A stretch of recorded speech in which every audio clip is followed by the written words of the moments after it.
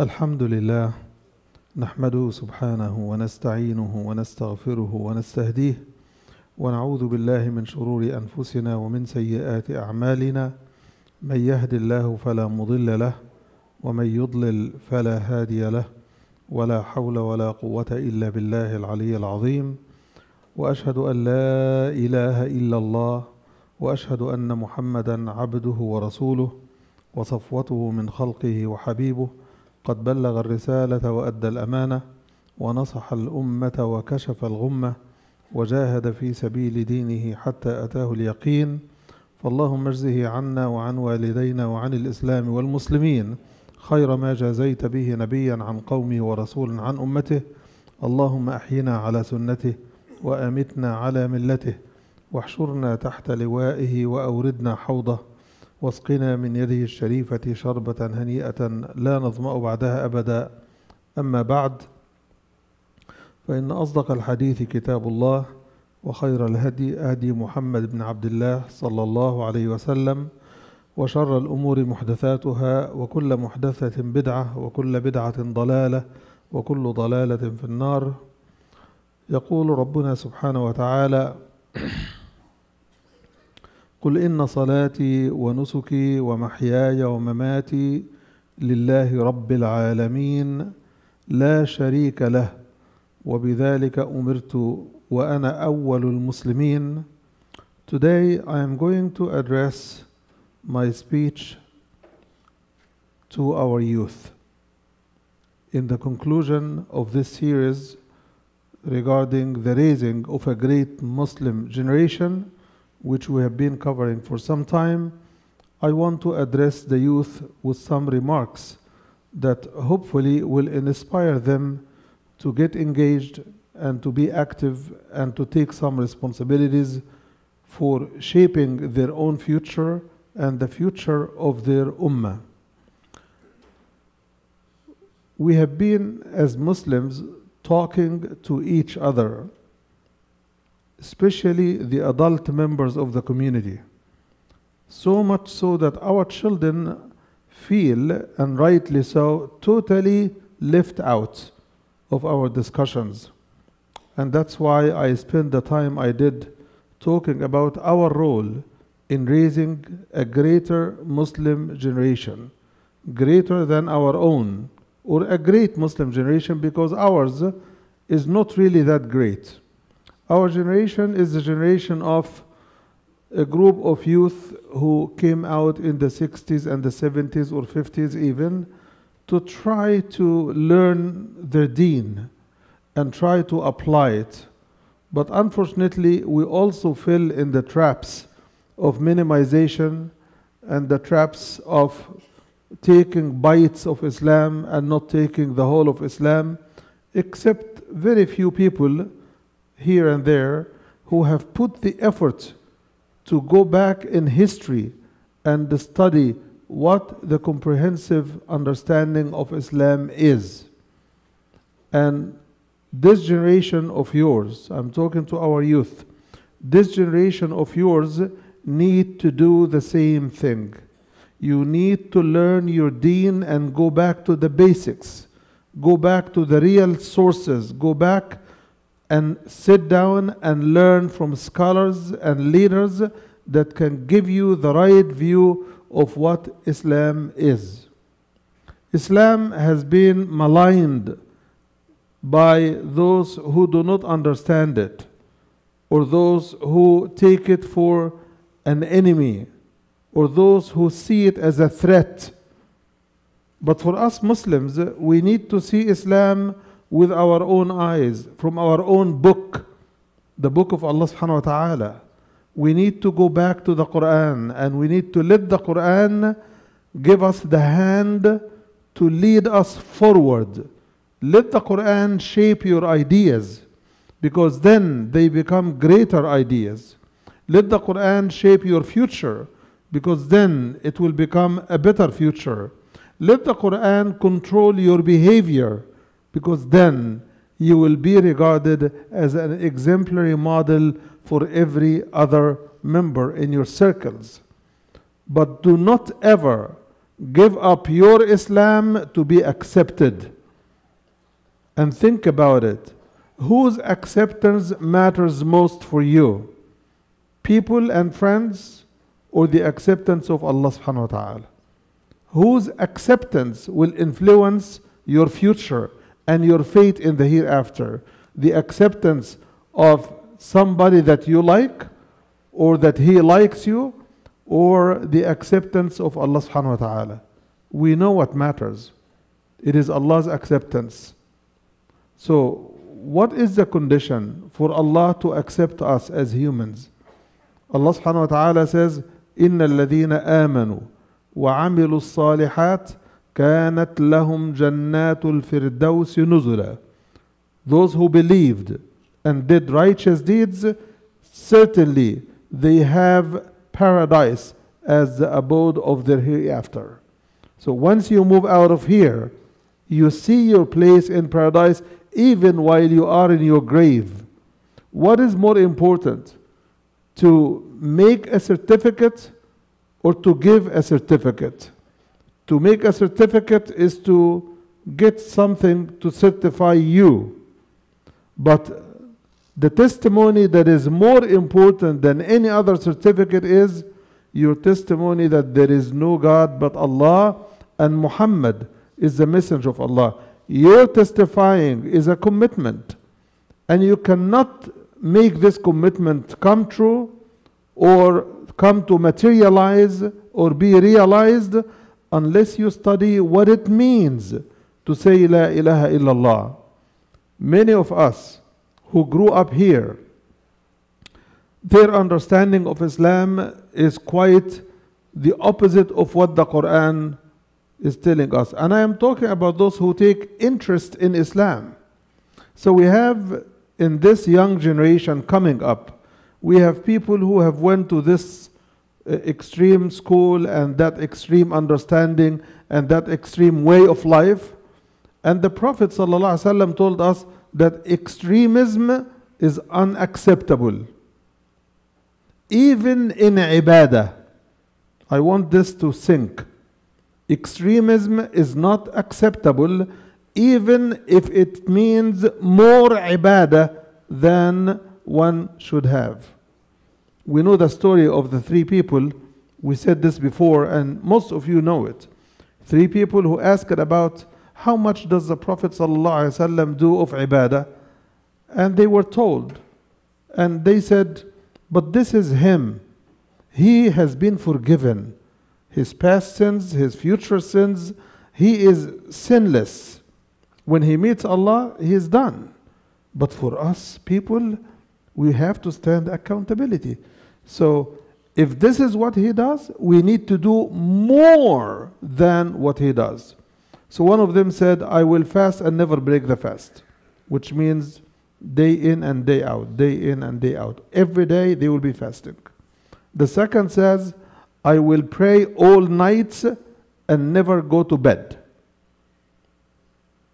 And the third said, I'm not going to get married because if I get married, I get children, I get busy, I'm not going to worship Allah enough. I will be too busy. And the Prophet ﷺ heard about their story. And he said, Call them for me. And he asked them, Are you the ones who said this and this and this? They said, Yes, O Prophet. What made you come to these kind of conclusions? He said, Oh Rasulullah, you are the messenger of Allah You have been forgiven all of your sins. And you do that much. So what about us? We felt that we need to do more to catch up with you. And he said, ألا إني أتقاكم لله وأخشاكم له. I am the most reverent that reveres Allah subhanahu wa ta'ala the most. And I fear him the most. I appreciate him, I appreciate him the most. However, I pray some nights and I sleep some nights. I pray some part of a night and sleep the other part of the night. I fast and break the fast. Some days this, some days that. And I marry women, as you see.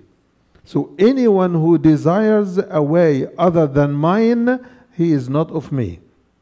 فَمَنْ رَغِبَ عَنْ سُنَّتِي فَلَيْسَ مِنِّي So the Prophet ﷺ clearly is telling us that people who take the deen beyond the sunnah of the Prophet ﷺ, beyond its limits, beyond its guidance, they are out of the fold. So extremism is a disease. And by the way, when we talk about extremism, extremism is not something that we Muslims have while others don't. Extremism is a human trait. Every human, every one of us, has certain things in which we go extreme. Some of us in some habits, some of us in some attitudes, some of us in things we like or things we hate or things we fear or things we worry about. Everyone has certain things that we go with it to an extreme length or another. Islam tells us, وَكَذَلِكَ جَعَلْنَاكُمْ أُمَّةً وَسَطًا And we have made you, we have raised you to be an ummah of balance and moderation. This is not a defensive explanation of Islam because Islamophobes are accusing us of being extremes. This is Islam as it should be. I am talking about the hadith of the Prophet ﷺ. I'm talking about the Quran. So this has nothing to do with the politics of extremism and radicalism and all of that. That's not my teaching, that's not my preaching. But the point is, we as Muslims need to always look for the balance. Ummatan wasata means we focus on what matters most, as the Prophet ﷺ teaches us to do. احرص على ما ينفعك. Be keen to pursue what benefits you. That's the focus. Look after the benefit. Do not focus on what is pleasant. Do not focus on what is fun. Have fun, but don't make it your focus. Try every pleasant thing you want, but monitor the limits of Allah subhanahu wa ta'ala. Don't cross the limits of Allah. Don't follow others unless you know where they are heading. I follow you because you said I'm going to New York and that's where I want to go. I follow you. You know the way, I will follow you. But if you're not going where I want, I don't follow you. So, those friends of yours who are inviting you to their own ideas, their own clubs, their own way of life, you have to ask yourself before you follow. Before you give a commitment, before you make a decision, ask yourself who benefits from it? Are you going to benefit from it? And what is the benefit? But the first question is is it acceptable to Allah? That's what matters most. Because our ultimate purpose is to gain and earn the love and acceptance of Allah subhanahu wa ta'ala. You can't earn His acceptance unless you primarily accept Him and accept His guidance. This is what it means to believe. To accept Allah, to accept His guidance, then when you work according to His guidance, He promised to accept you. So you will not be left out. You will always be under the care and the watchful eyes and protection of Allah subhanahu wa ta'ala. This is what it means to be a Muslim. This is what it means to be a better generation than the one you are following. Don't follow us. Follow the Prophet. Don't follow your parents unless they are guiding you to the book of Allah and the sunnah of the Prophet sallallahu alaihi wasallam If they ask of you to abandon the Quran or abandon the sunnah of the Prophet sallallahu alaihi wasallam, Allah says, obey them not. فلا تطعهما وإن جاهداك على أن تشرك بي ما ليس لك به علم فلا تطعهما only obey them when they are in obedience to Allah subhanahu wa ta'ala. In the hadith, the Prophet sallallahu alaihi wasallam says, لا طاعة لمخلوق في معصية الخالق.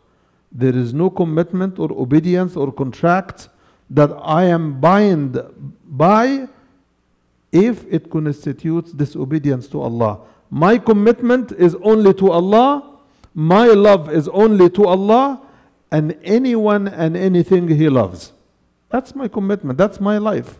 That's what it means to say that my living and my dying are all dedicated to Allah subhanahu wa ta'ala. Every nation, my brothers and sisters, and I'm talking to our young brothers and sisters primarily, every nation relies on its youth to build a better future. So, trace in our generation our faults to avoid it, our achievements to be proud of it, our right steps to follow it. But do not follow anyone that takes you away from the path of Allah subhanahu wa ta'ala. This is what it means when we pray and ask Allah and say, Ihdina as-sirat al-mustaqim. Guide us on the straight path. It means that we love you and we want to get to you in the shortest cut. The straight path is the shortest cut between where you are in this life and where Allah is meeting you at the end of your life. You will face Allah subhanahu wa ta'ala. We always say when somebody dies, what? Inna lillah wa inna ilayhi raji'un. We all belong to Allah. He is our maker. He is literally our owner. Because He is our maker. He is our provider. He is our protector. So who else should we follow if we don't follow Him? He is the one that matters above all else. لا يؤمن أحدكم حتى يكون الله ورسوله أحب إليه مما سواهما. It is not enough to love Allah. Your love of Allah must be above all others, which means when He calls, He gets your answer above all else. When He invites you to do something, He gets your attention and He grips you by the power of your faith to do what He asks you to do. Allah invites us to paradise. We will be divided into two people. One group will accept the invitation and they believe and follow. And the other group will reject the invitation for whatever reason. And they will follow whatever path else other than the straight path. That decision is better made when you are young. Don't say, when I grow old, I will do this. Postponement is self destruction. When you postpone anything good that you should do now, you are destroying your chances in becoming an achiever. Achievers do not put off tasks unless there is an important, more important task to do at the moment. So every generation, in every minute of their life, every day, we make decisions that either will advance real priorities that benefit us, that benefit our nation, that benefit our communities and our families, or decisions that will hurt and harm all of these institutions that are very important. The Prophet ﷺ, in his remarks about his mission, almost very close to the end of his life, he looks back and he says, نصرني الشباب وخذلني الشيوخ. Youth are the ones who supported me, and the elders have abandoned me. They let me down. You know that many of the elders they became Muslims late in their life. But when it was persecution, when it was painful, when it was difficult, they sat on the side, waiting on the fence to see where things will go and where the winds will blow. But we cannot afford it as an ummah, as a nation, to wait for yet another generation other than you to make things happen, to stand for the Quran, to stand for the Sunnah of the Prophet ﷺ, to stand for your family, for your own personal future, to stand for your community, to stand for your nation. our nation in which we are living is waiting anxiously as to what Islam has to offer to the West. So far, the few Muslims who are giving Islam two black eyes are the ones who are getting ahead in the news. We want to switch this.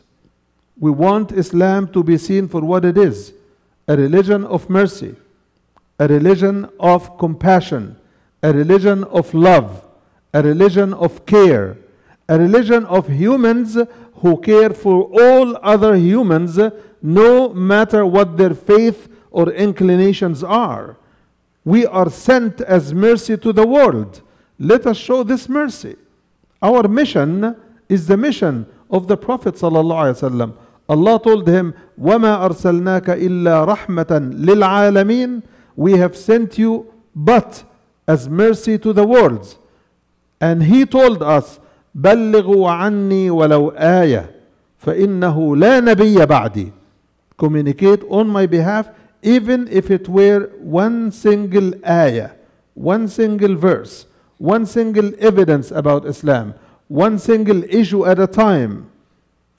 But we are, instead of spending much of our time to work for Allah, we are spending our time doing prayer and which is good and making dua which is also good but unfortunately when Allah makes da'wah and invites us to turn our dua into a reality we say no you do it Allah says فأقيموا الصلاة وآتوا الزكاة واعتصموا بالله هو مولاكم we say oh Allah unite us well, he told you, you unite yourself. You work with each other. وتعاونوا على البر والتقوى ولا تعاونوا على الإثم والعدوان. So we do the opposite and pray for the opposite of what we do. It cannot happen. Allah tells us, قُوا أنفسكم وأهليكم نارا. we say no. You protect us and our children from hellfire. As if this is a substitute for the responsibility we have to carry. It is not. We abuse our faith when we make dua for something that we don't want to work for. It is like a student who keeps praying, Oh Allah, give me the best grades, give me the best place in my class, let me graduate, you know, cum laude, and all of that. But he doesn't study. He doesn't study. Is he going to make it? Of course not. And he knows it. So, why are we settled that material gain is only by material work and the spiritual gain we want comes for free? Because our heads are not clear that Allah subhanahu wa ta'ala told us something. I want you, our youth, to remember it. وأن ليس للإنسان إلا ما سعى وأن سعيه سوف يرى ثم يجزاه الجزاء الأوفى Man doesn't get except what he or she earns. And his working, his walking, his pursuit is going to be recorded for him or against him. وأن سعيه سوف يرى It will be shown to Allah.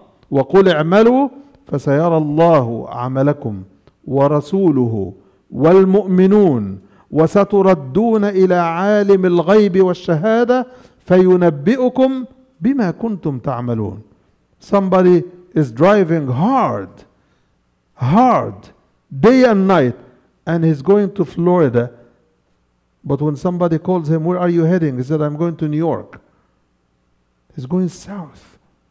He's going south.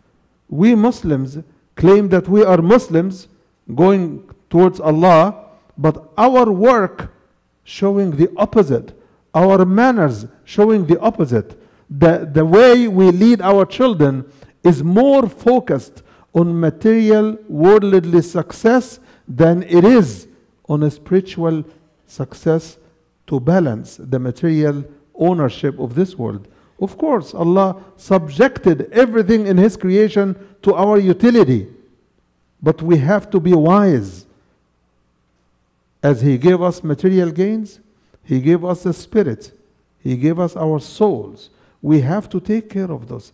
As you feed the body, you must feed the spirit. You must feed your soul. You must feed your heart by spiritual sources that are abundantly available. Today, information is running after us. It used to be in the past that one Imam, like Imam al Bukhari, would travel a month, a month or two to catch one hadith from a single source. And he may or may not find it valid or authentic to put in his collection. One month, either on a camel or mule or donkey or horse, whatever. Imagine a distance that you take in half an hour today, they used to do for one month each way. رحلة الشتاء والصيف, the trip of the summer and the winter. People used to take a long time. Now you're sitting at home under the care of the AC, your shower is available, your bed is available, and the information is pouring into your inbox. Instead of reading some of it, you are just ignoring it. This is religion. This is religion. I want to learn something different. So, what made the first generation the greatest generation is they valued the revelation that Allah bestowed upon them and honored them with in the Quran and the Sunnah, and Allah valued them. They became the generation that Allah subhanahu wa ta'ala says about that He is pleased with them. لقد رضي الله عن المؤمنين والمهاجرين والأنصار الذين اتبعوك في ساعة العسرة. Allah has been pleased with them. Why? Because they followed the Prophet ﷺ. They did not shrink. They did not back down.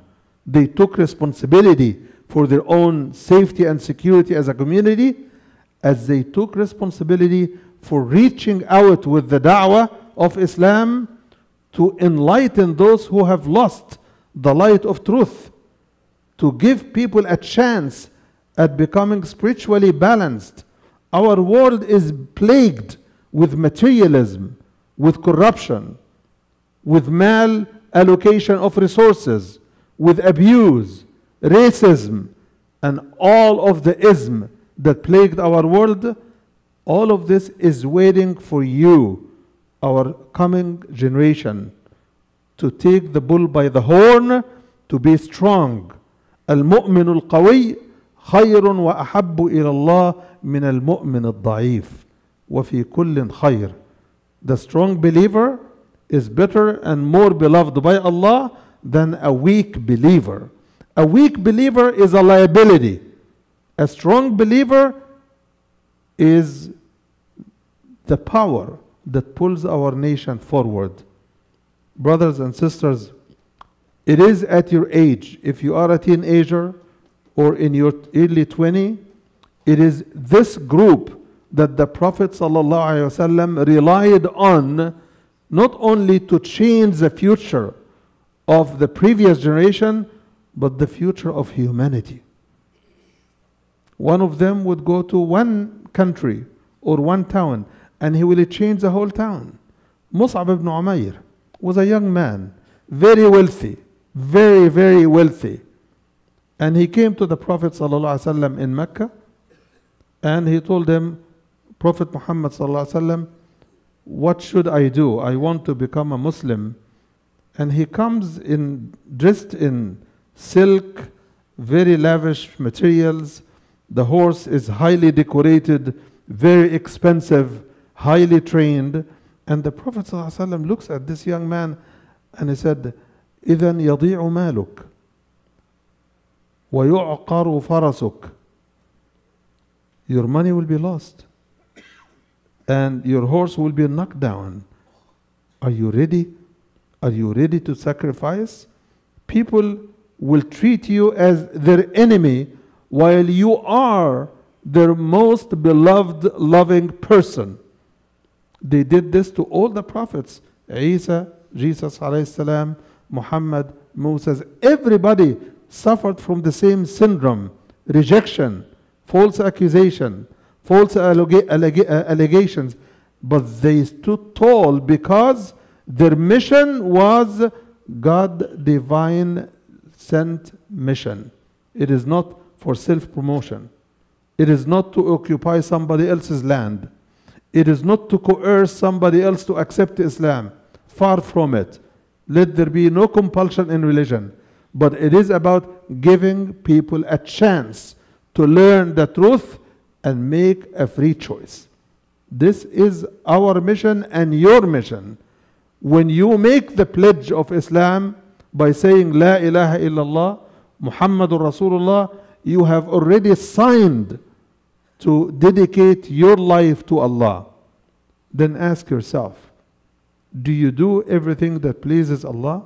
When offered an opportunity, are your choices based on what pleases Allah or what gives you fun, pleasure, and joy?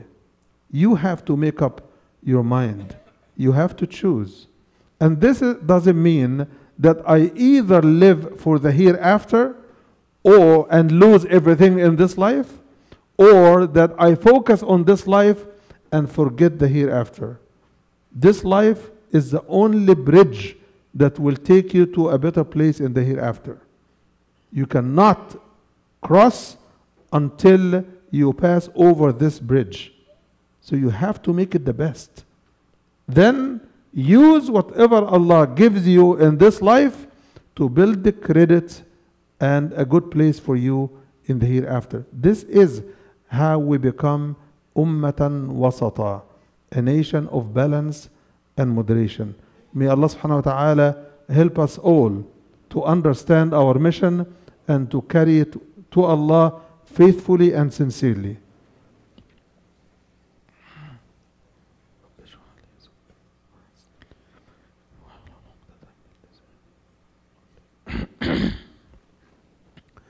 الحمد لله وكفى والصلاة والسلام على عباده الذين اصطفى وأشهد أن لا إله إلا الله وأشهد أن محمدا عبده ورسوله وبعد Young brothers and sisters, you need to understand that it doesn't take the majority to change a society.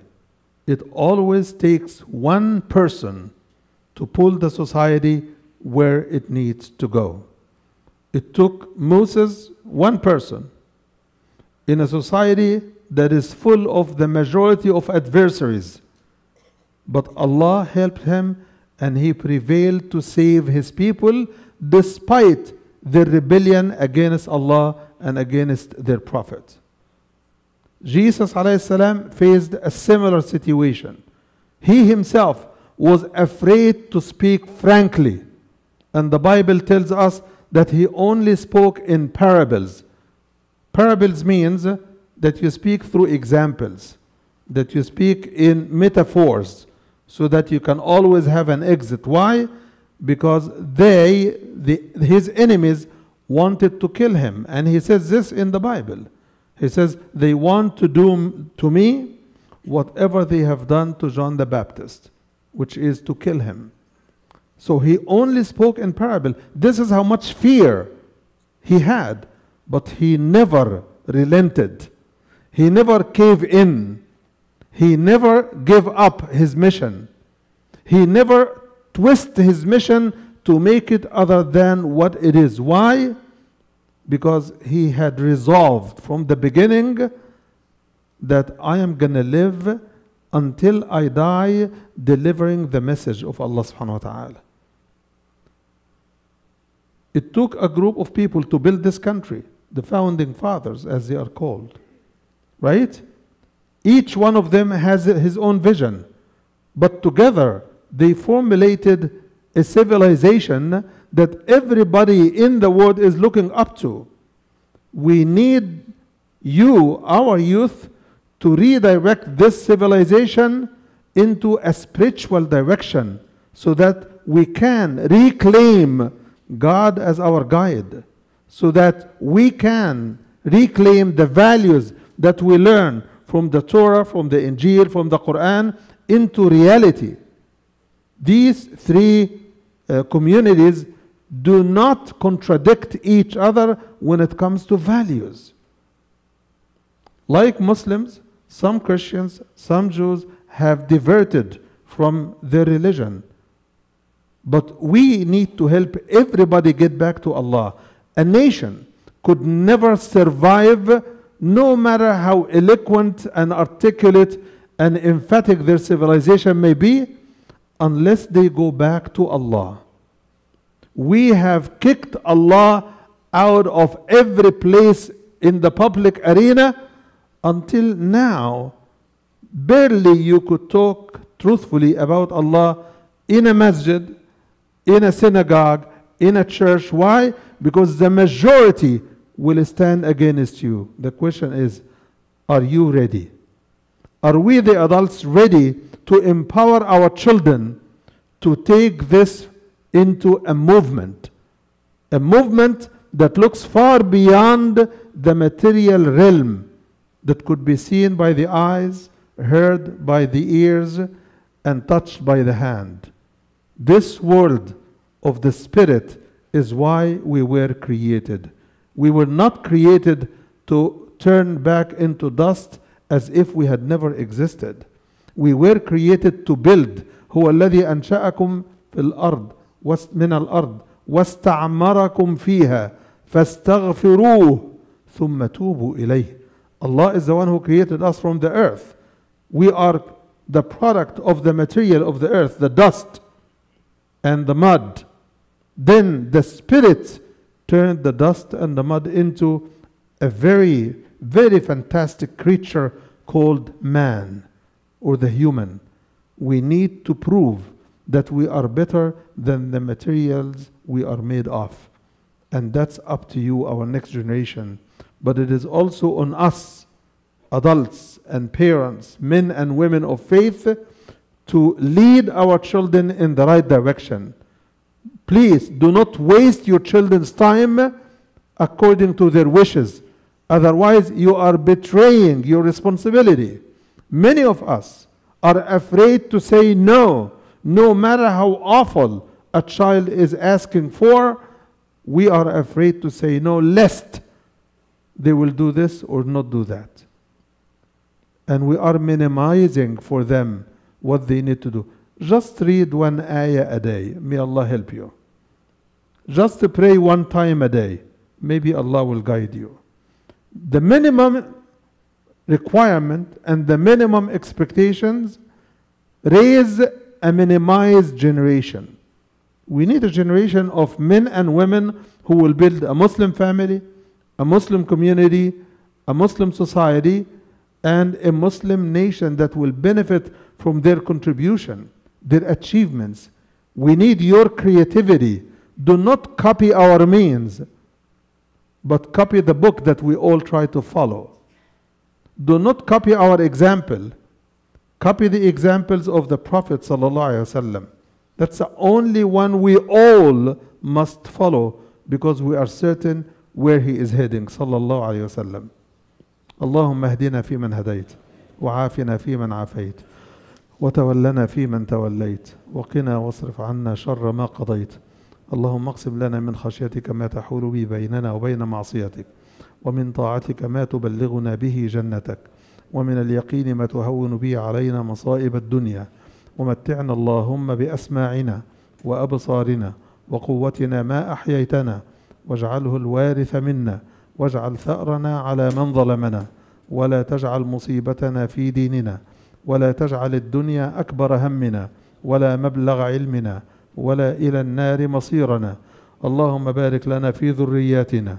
اللهم أصلح لنا ديننا الذي هو عصمة أمرنا. وأصلح لنا دنيانا التي فيها معاشنا. وأصلح لنا آخرتنا التي إليها معادنا. واجعل الحياة زيادة لنا في كل خير. واجعل الموت راحة لنا من كل شر. ومتعنا اللهم بأسماعنا وأبصارنا وقوتنا ما أحييتنا. واجعله الوارث منا. اللهم اختم لنا بخاتمة السعادة أجمعين مع النبيين والصديقين والشهداء والصالحين. أقول قولي هذا وأستغفر الله لي ولكم فستذكرون ما أقول لكم وأفوض أمري إلى الله. إن الله بصير بالعباد وأقم الصلاة.